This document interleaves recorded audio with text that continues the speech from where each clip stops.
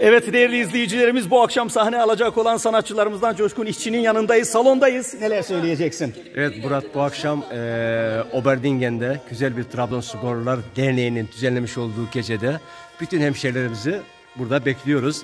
Tabii ki bunun dışında bugün yine Trabzon'da çok güzel bir kutlama olacak. Eee, oradaki heyecanı da eee, burada da hissediyoruz. Aa, ama eee şunu eminim ki eee, oradaki heyecan ve buradakisi hiçbirbirini aratmayacak. İkisi de güzel olacak. Çok teşekkür ederiz. Rica ederim. Sağ olun. Çok sağ olun.